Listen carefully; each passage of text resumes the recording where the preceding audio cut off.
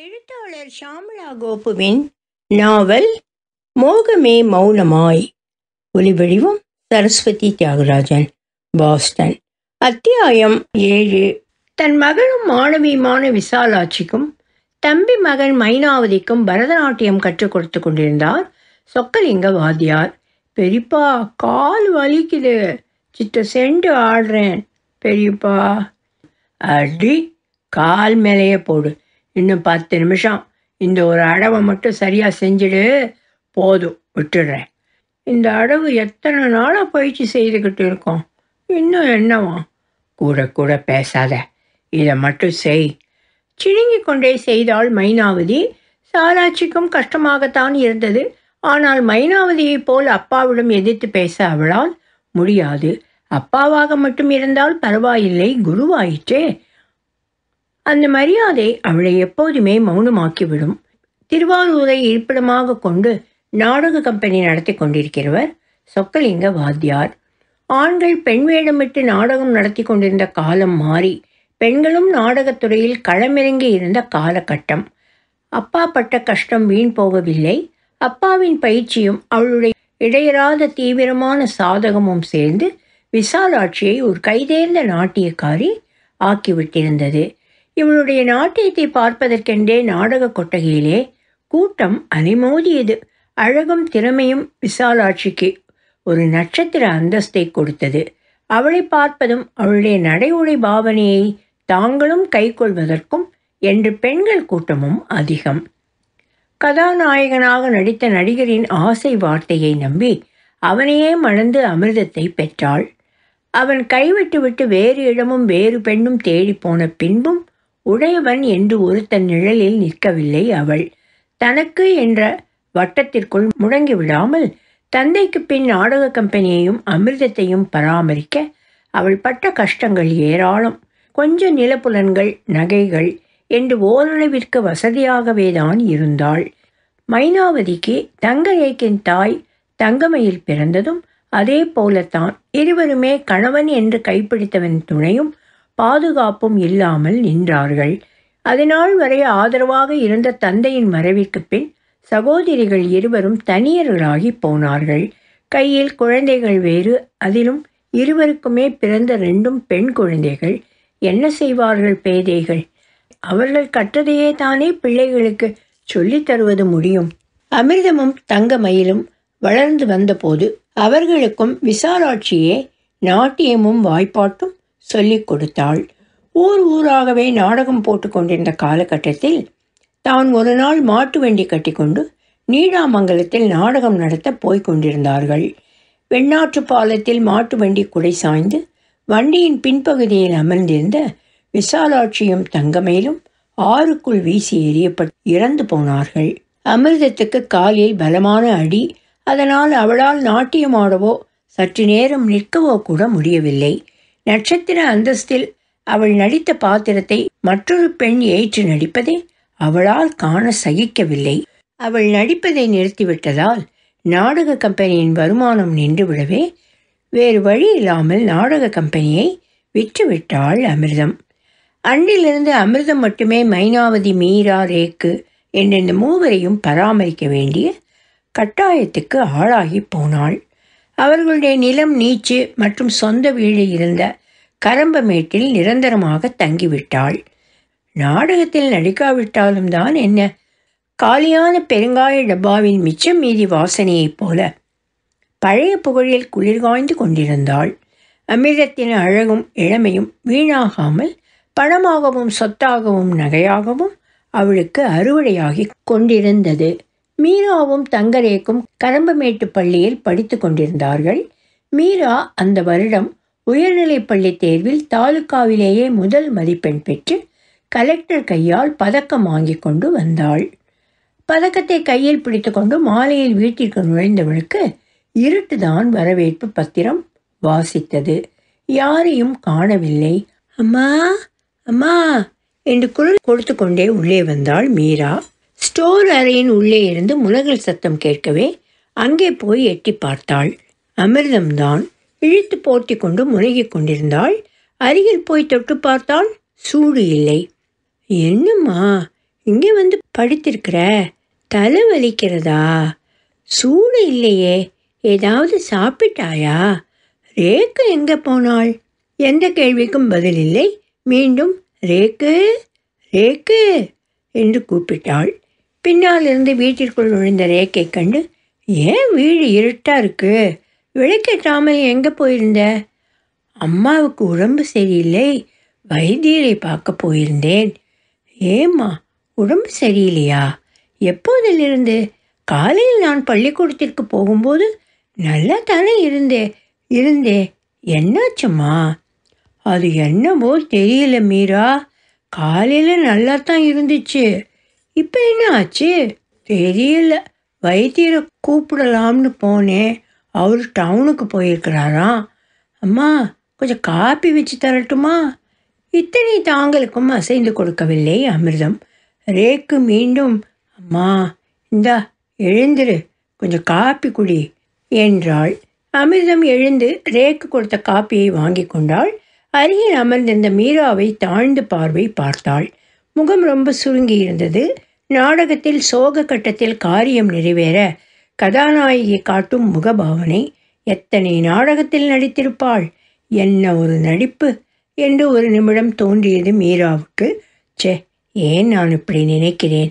அம்மாவுக்கு அப்படி நம்மிடம் ஆக வேண்டிய காரியம் என்ன? மெய்யாலுமே அவளுக்கு உடம்பு சரியில்லை போலும் என்று பரிதாபப்பட்டாள். மீரா காலையில் அந்த பண்ணையார் வீட்டுக்கு வந்துட்டு போனதில் இருந்து தான் அம்மா இப்படி கிடக்குது. ஏம்மா அப்படியா? அமிர்தம் ரேக்கை ஒரு பார்வை பார்த்துவிட்டு சுவரில் நன்றாக சாய்ந்து உட்கார்ந்து கொண்டு காலை நீட்டிக்கொண்டாள் நீட்டிக்கொண்டாள் அவள் காலை மீறா மெல்ல பிடித்து விட்டு கொண்டிருந்தாள். ஏம்மா என்னாச்சு உனக்கு?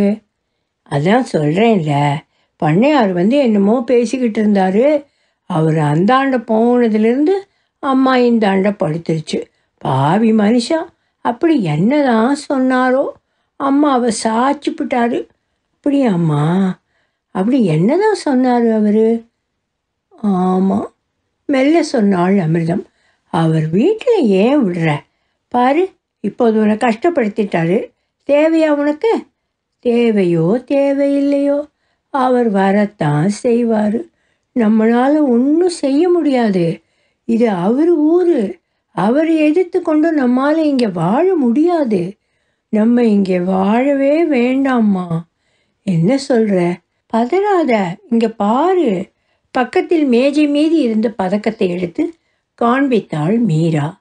அதை கையில் வாங்கி கண்கள் அருகில் வைத்து பார்த்தாள் அமிர்தம். என்ன பாப்பா இது? மெடல்மா? அவளே எத்தனை ஊர்களில் நாடக கொட்டாயில் இதுபோல எத்தனை பதக்கம் வாங்கியிருப்பாள்? சிறந்த நடிப்பு சிறந்த நடனம் என்று எத்தனை விதம்? அதனால் இது ஒன்றும் பெரிய விஷயமாக இருக்கவில்லை. அவளுக்கு திரும்ப அந்த மெடலை அவள் கையிலேயே கொடுத்து விட்டாள். அம்மா இந்த பதக்கத்திற்கு தன்னை கட்டி பிடித்து பாராட்டுவாள் என்று எதிர்பார்த்த மீராவிற்கு பெருத்த ஏமாற்றம்தான்.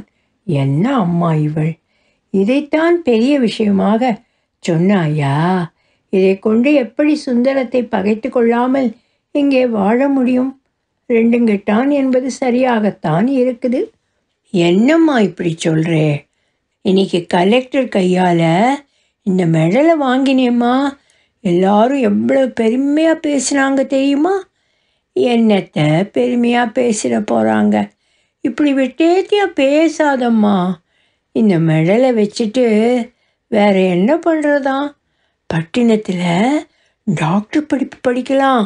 படித்து பெரிய டாக்டர் ஆகலாம். ஆகி என்ன பண்ணுறது?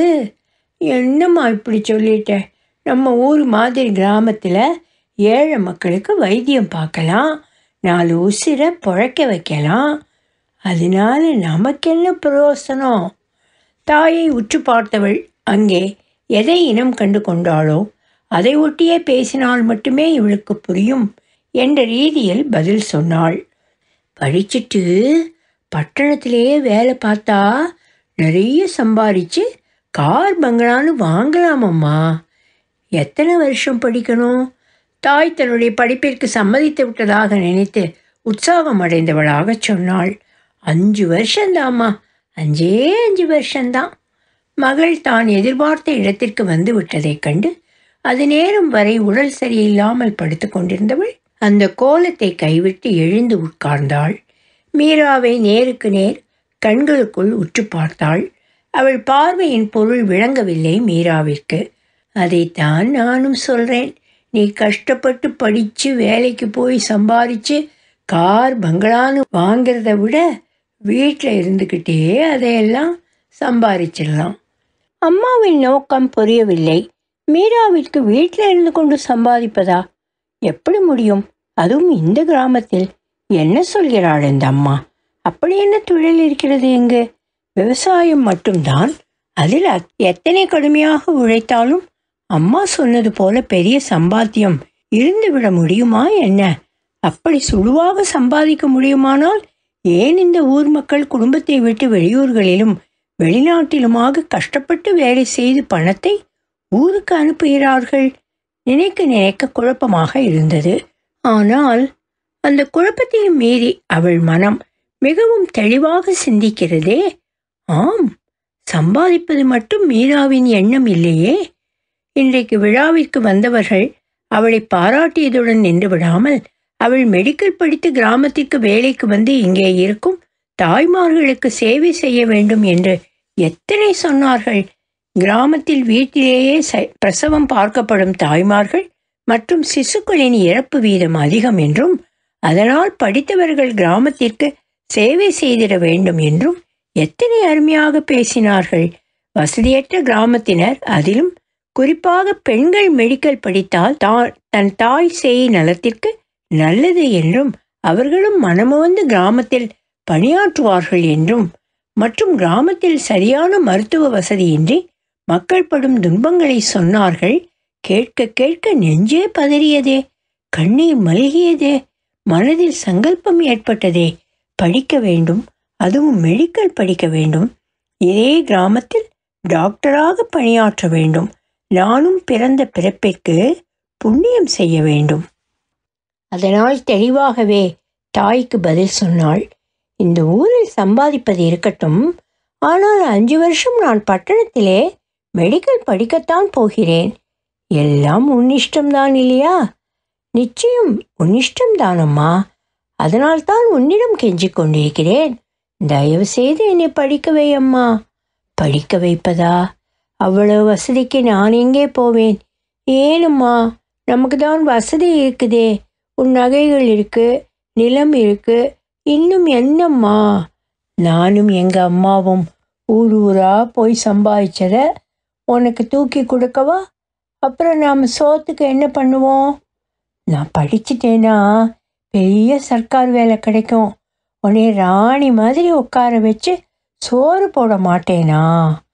என்னை நீ ராணி மாதிரி வச்சுக்கிறது அப்புறம் உன்னைய ஒருத்தர் ராணி மாதிரி வச்சு சோறு போட தயாராக இருக்கான். அதுக்கு என்ன பதில் சொல்கிறது என்னம்மா சொல்கிற இப்போவே எனக்கு கல்யாணம் கட்டி வச்சிட போறியா நான் படிக்கணுமா? கல்யாணமா? அப்படி நான் சொன்னேனா? அப்புறம் ஏன் அப்படி சந்தேகமாக பார்க்குற நாம் எல்லாம் கல்யாணம் காட்சின்னு பார்க்க முடியுமா? அப்படின்னா அப்படின்னா அப்படிதான். புரியுதில்ல? அம்மா கதறி அழுது விட்டால் சோகம் வெளியேறும். ஆனால் இப்படியும் நடக்குமா என்ற திகைப்பில் அழவும் முடியவில்லை. நினைப்பே நெஞ்சை அழைத்தது நாம என்ன நினைத்தோம்?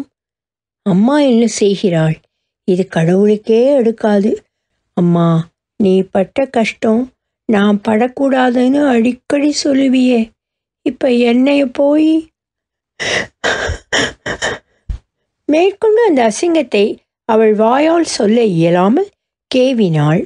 உண்மைதான் அமிர்தம் பட்ட கஷ்டம் கொஞ்ச லஞ்சம் இல்லை. நினைக்கவே நெஞ்சம் கலங்கும். நாடகம் நாடகம் என்று ஊர் ஊராக சுற்றியதும் கால்கள் ஒரு இடத்தில் தரிக்காமல் நாட்டியம் ஆடியதும் உடலும் மனமும் அழுத்த சலித்து வாழ பிடிக்காமல் ஆயுளை முடித்து கொள்ளலாம் என்று நினைத்ததும் சிறு குழந்தை அதுவும் பெண் குழந்தை அதை அனாதையாக்கி விட்டுவிட்டு போனால் அது இந்த சமூகத்தில் சிக்கி சீரழிந்து விடுமே என்று தன்னைத்தானே தேற்றிக் கொண்டதும் என்று கடந்த காலங்களும் கஷ்டங்களும் வேதனைகளும் எல்லாம் நினைவிற்கு வந்து நெஞ்சை அழைத்தது. அவள் முகத்தில் யோசனை ரேகை ஓடுவதைக் கண்டதும் அதையே ஆதாரமாக பற்றி கொண்டு மீரா மீண்டும் அம்மாவை கரைக்கும் முயற்சியை தொடர்ந்தாள். அம்மா நான் படிச்சுட்டு வேலைக்கு போய் கை நிறைய சம்பாதிச்சு உன்னை நிம்மதியாக இருக்க வச்சு பார்ப்பேன் எனக்கு மட்டும் அதில் இஷ்டம் இல்லையா மீரா? ஆனால் சொன்னவள் கேவலாக முடித்தாள்.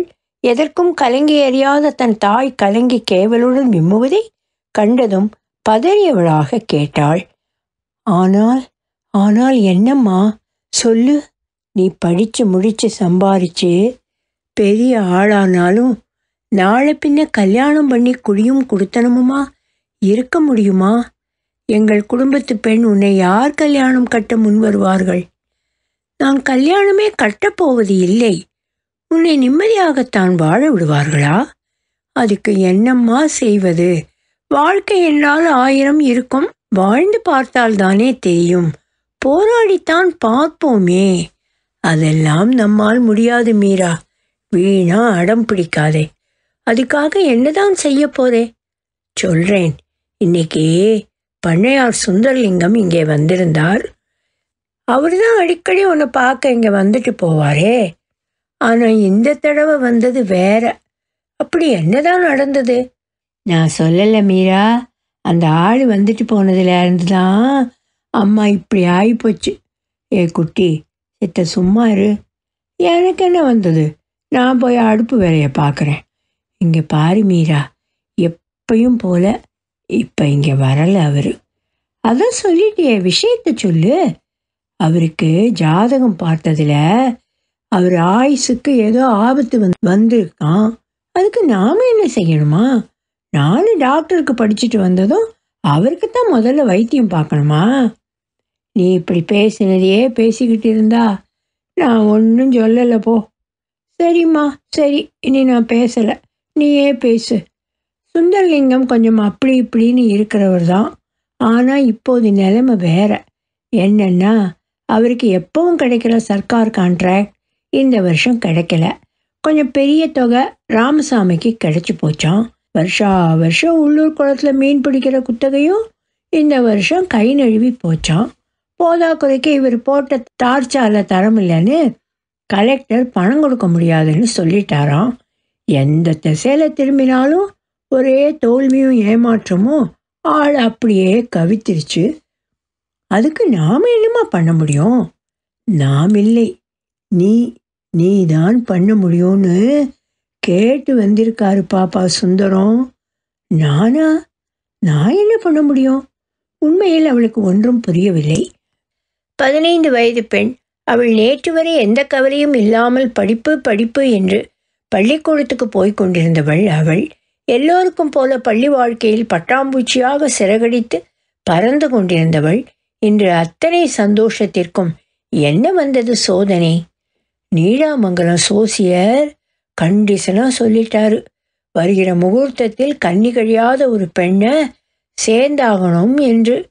சரி அதுக்கு ஏதாவது ஏழை பெண்ணா பார்த்து கல்யாணம் கட்டிக்கிடலாமே. ஒருவேளை நாம் ஏழை பெண்ணு என்று தன்னை திருமணம் செய்ய கேட்டிருப்பாரோ என்று சின்ன சந்தேகம் ஏற்பட்டது மீராவிற்கு. நானே அவர் நோக்கம் தெரியாமல் வாயை விட்டு விட்டேனே. அடடா அவருக்கு தெரியாதா? அதனால் தான் இன்னைக்கு உன்னை கேட்டு வந்தாரு. சரிதான் அந்த கழக்குரங்கு தன்னை திருமணம் செய்து கொள்ள கேட்டிருக்கிறது. அம்மாவும் நம்முடைய நிலைமை புரிந்து இந்த கல்யாணத்துக்கு சம்மதித்திருப்பாள். அதை எப்படி இவளிடம் சொல்லி சம்மதிக்க வைப்பது என்று கலங்கி போய்த்தான் படுத்த படுக்கையாக படுத்து கிடக்கிறாள். பாவம் அம்மா அவளை நோவானேன் தன்மையாகவே பதில் சொன்னாள். உன்னை புரிந்து கொண்டேன் என்ற பார்வையுடன் அம்மா எனக்கு இப்போது கல்யாணம் வேண்டாம் அம்மா. இவள் புரிந்துதான் பேசுகிறாளா? இல்லையா? கல்யாணம் செய்து கொள்வதாமே கல்யாணம். என்ன பெண்? நம் நிலைமை புரியாமல் அதுவும் இந்த கிராமத்தில் சுந்தரத்தை கல்யாணம் செய்து கொண்டு வாழ்ந்து விட முடியுமா? அம்மோ உன்னோட மல்லு கட்ட. என்னால் ஆகாது. நான் இப்போ என்ன சொல்லிட்டேன்னு இப்படி சொல்லிச்சுக்கிற என்னால் இப்போ கல்யாணம் கட்டிக்க முடியாதுன்னு தானே சொல்லிக்கிட்டு இருக்கேன். இங்கே உன்னை யார் கல்யாணம் செய்து கொள்ள சொன்னது? ஆ அப்புறம் இப்போ நீதானே சொல்லிட்டு இருந்த? சுந்தரத்தின் நிலைமையை சொன்னேன். அவர் உன்னை கல்யாணம் கட்டிக்கிடுறேன்னு சொன்னார் என்று சொன்னனா? இல்லையா பின்ன? இல்லை மீரா இப்படி பக்கத்தில் வா. அருகில் அழைத்தவாறு அவள் தலையை மென்மையாக தடவியவாறு சொன்னார். சுந்தரம் உன்னை கேட்கிறார். ஆனால் கல்யாணம் செய்து கொள்வதற்கு இல்லை. ஏம்மா விம்மி நெஞ்சு அப்படியே நின்று விடாதா என்று ஏங்கியவளாக அந்த ஏக்கம் குரலை அழுத்த குரல் வழி நெறிந்த பிசுருடன் கேட்டவளே அமிர்தம் கண்கள் கலங்க தன் நெஞ்சோடு சேர்த்து அணைத்து கொண்டு சொன்னாள். நம்முடைய நிலைமை அதுபோல் மீரா. அவன் இங்கே வந்து போன போதே உன்மேல் கண்ணாய் போயிருக்கிறான். அதற்கேற்றால் போல் ஜாதகம் ஜோசியம் என்று அளந்து விடுறான். என்ன செய்ய? இந்த ஊரில் இருந்தால்தானே வேறு எங்கேனும் போய்விடலாமா? சின்ன பிள்ளை போலே பேசாதே பாப்பா. நம்ம நிலம் நீச்சு எல்லாம் இங்கே தானே இருக்கு. நமக்குன்னு ஆண் துணை இருக்கா? அதுவும் இல்லை. உனக்கும் சரி எனக்கும் சரி. அண்ணன் தம்பி என்று ஒரு சின்ன ஆண் துணை கூட இல்லை. உனக்கு மகனுக்கு மகனா நான் இருக்கேம்மா. எங்கேயாவது போய்விடலாம். எங்கே? அது நம்ம ரங்கராஜன் சார்கிட்ட கேட்கலாம். அவருக்கு எல்லாம் தெரியும். ஒரு நைந்த சிரிப்பை வெளியிட்டாள். எங்கேயாவது போய் உழைச்சி சாப்பிடலாம். நான் உழைச்சி. வேண்டாம் நீ வீட்டில் இரு. நான் போய் சம்பாதித்து கொண்டு வருகிறேன். நான் எல்லா வகையிலும் யோசித்து பார்த்து விட்டேன் வேற வழி புலப்படவில்லை. அதுக்காக கல்யாணம் கூட கட்டாம எப்படி? கல்யாணம் என்றால் கூட தன் விதியை நொந்தவாறு இந்த கிழவனை கட்டி பிள்ளைக்குட்டி பெற்றுக்கொண்டு வாழ்ந்து விடலாம். இந்த அம்மாவும் நிம்மதியாக இருப்பாள். வயதானவன் ஏதேனும் நோய்வாய்ப்பட்டு இறந்து போக நேரிட்டாலும் சுந்தரத்தின் விதவை என்ற பாதுகாப்புடன் மீதி நாட்களை வாழ்ந்து விடலாம். ஆனால் இப்போது நிலைமையே வேறு. இவன் கல்யாணம் கட்ட மாட்டானாமே. ஏம்மா அப்படி? அவனுடைய அக்கா மகளையே தான் சுந்தரம் கட்டி இருக்கான் பெரிய சொத்துக்காரி. உன்னை அவன் கல்யாணம் கட்டினால் இவனை தூக்கி வெளியே போட்டு விடுவார்கள். சுந்தரம் வீட்டார்கள். அக்கா மாமா எல்லோரும் வசதியானவங்க.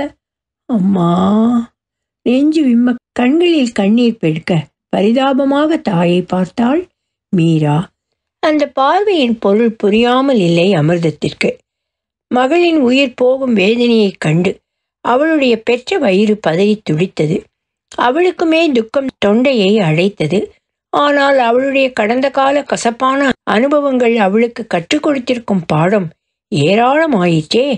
மருந்து கசப்பாக இருக்கிறது என்பதற்காக குழந்தைக்கு கொடுக்காமலாய் இருக்கிறோம்? மெல்லச் சொன்னாள் அவள். எனக்கு மட்டும். உன்னை மாலையும் கழுத்துமா பார்க்க வேண்டும். நீ புருஷனோடு வெளியே தெருவில் கௌரவமாக போய் வரணும். என்னைய மாதிரி ஒத்தையா பெற்றுக்காம அஞ்சாறு புள்ள குட்டி பெற்றுக்கணும் அதுங்களை என் மார் மேலேயும் தோல் மேலேயும் போட்டு வளர்க்கணும். அதுங்களுக்கும் கண்ணாலும் காட்சின்னு செஞ்சு அதும் பிள்ளைகளையும் பார்க்கணும். என்றெல்லாம் நினை இல்லை நான் நினைச்சே. இது நேரம் வரை அமிர்தம் சொல்வதை தன் கண்களால் கற்பனையில் பார்த்தவளுக்கு தாயின் ஏக்கம் ஆறுதலை கொடுத்தது. பரவாயில்லை என் தாய் மோசமானவள் இல்லை. அவளுக்கும் சராசரி பெண்களுக்கே உரிய ஆசா பாசங்களும் இருக்கத்தான் செய்கிறது. அவள் மேல் இரக்கம் பிறந்தது.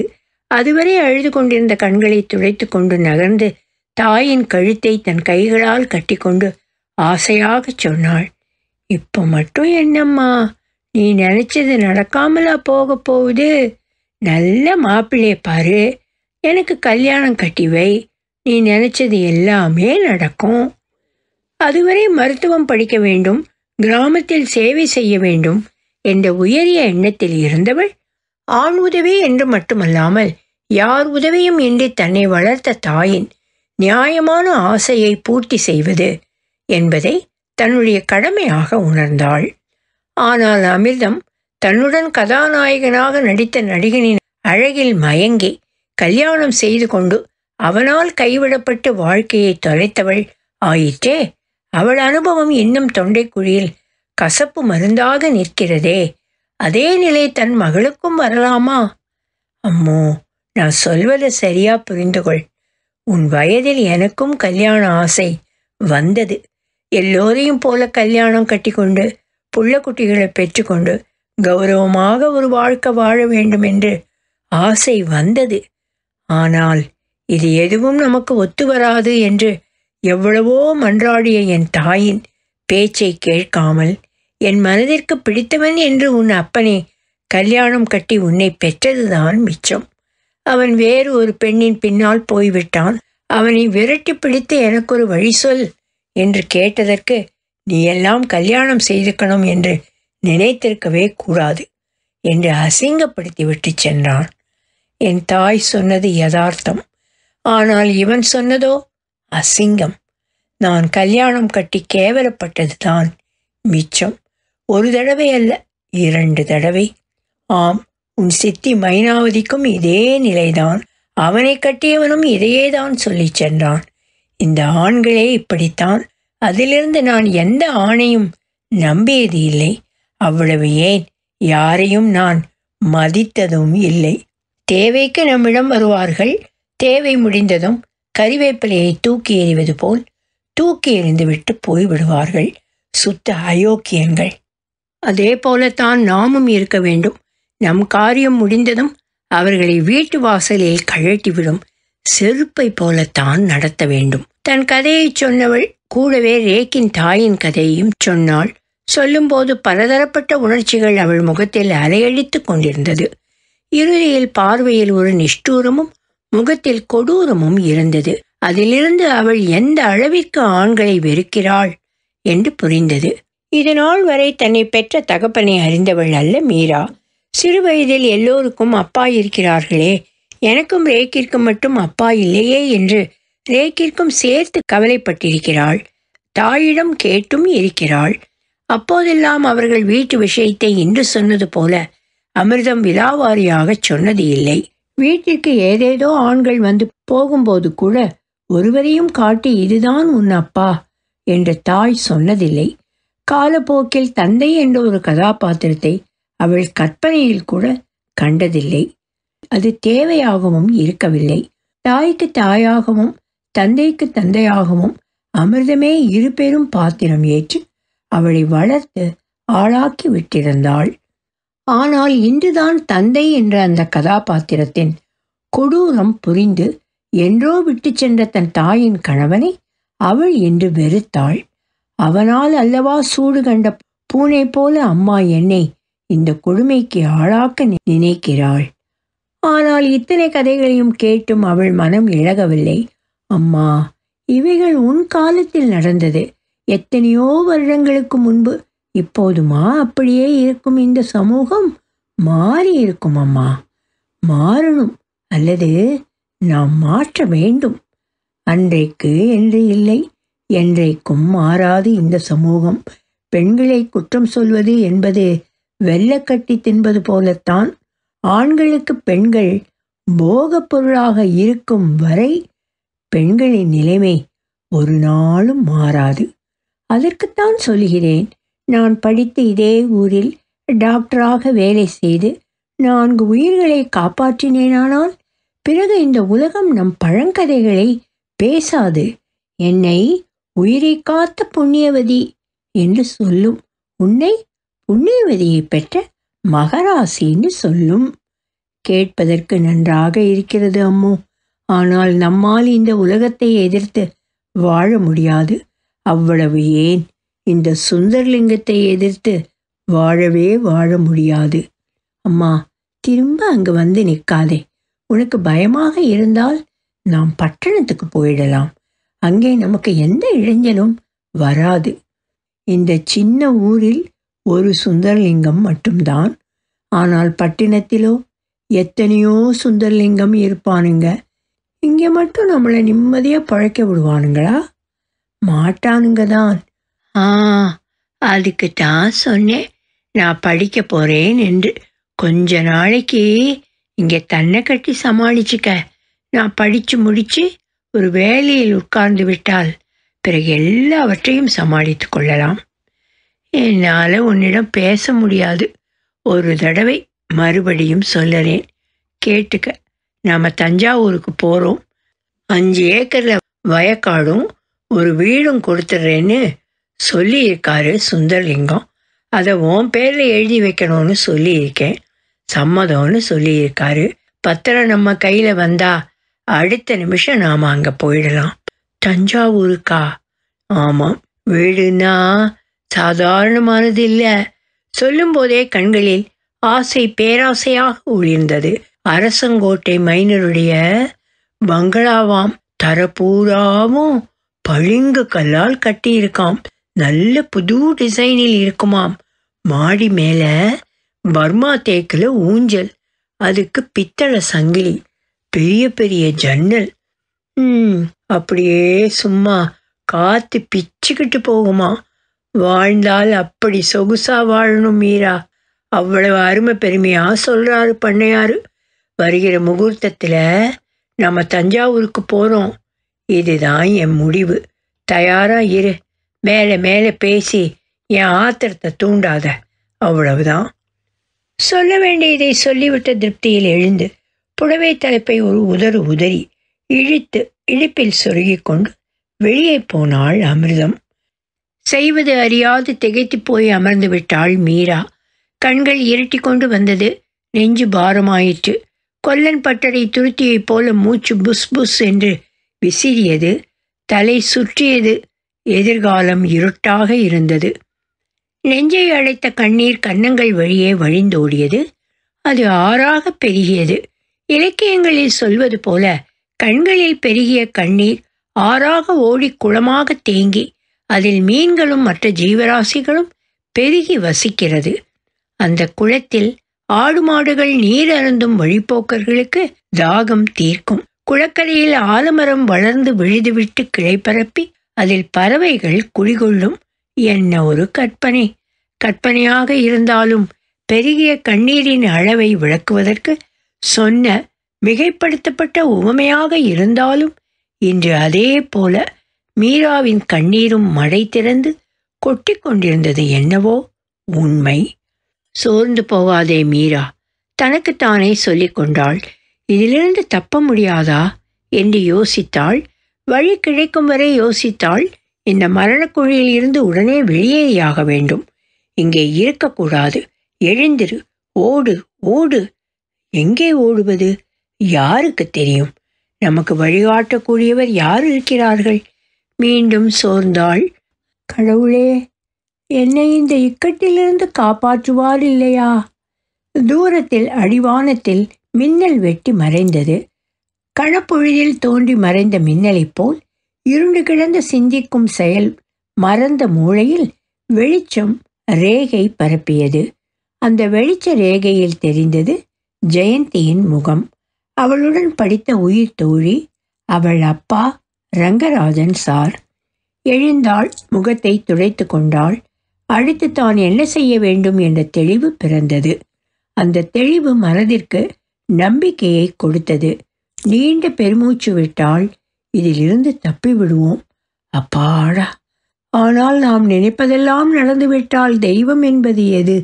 மோகமே மௌனமாய் நாவல் தொடரும். ஒலி வடிவம் சரஸ்வதி தியாகராஜன் பாஸ்டன்.